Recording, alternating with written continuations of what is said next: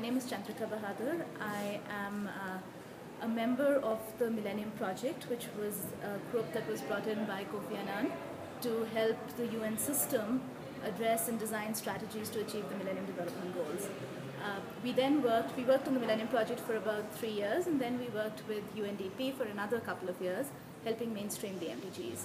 Um, the global conference uh, has been a wonderful opportunity to uh, hear uh, and get a sense of what UNDP has actually done on the MDGs, uh, both during the time that I was with the UN system, but also after. Uh, my presentation today was on mainstreaming the MDGs, which was really the core of the work uh, that we had done. I think this is a great time to reflect on what has gone right and what has gone wrong with both the MDGs in general, but also with the UN system's response to the MDGs and our support uh, to the countries that have been trying to achieve the goals. Uh, in my presentation, I talked about a few things. One,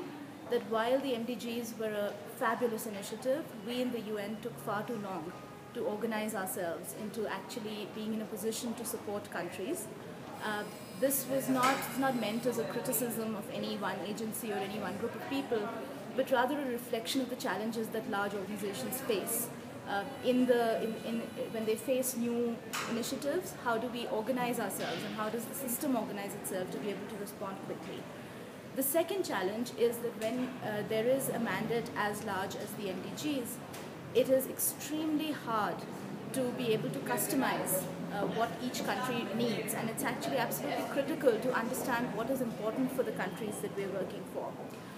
Uh, one of the other things that uh, really has struck me as I've heard other people speak at the conference and also looking back at my own work is that while we were very good with technical support, we completely uh, misjudged and underestimated the importance of political imperatives within countries and incentives that drive political leaders to make the choices they do. And if goals around halving hunger, halving poverty, uh, universalizing education, reducing mortality,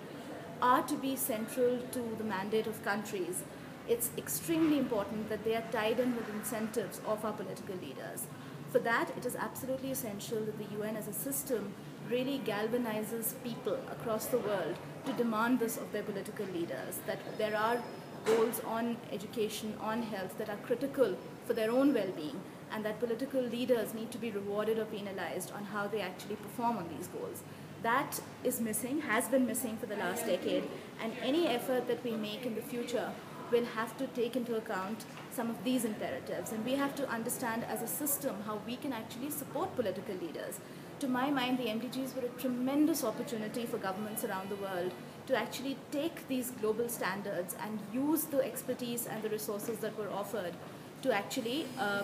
push their own agendas and their own priorities forward. I hope very much that as the uh, UN system and UNDP in particular move towards designing and uh, thinking about the post-2015 agenda, that some of these issues are taken on board and that the UN becomes a more effective advocate for some of the poorest people in the world because this is the only organization that actually really is in a position to speak for people who can't speak for themselves. Thank you.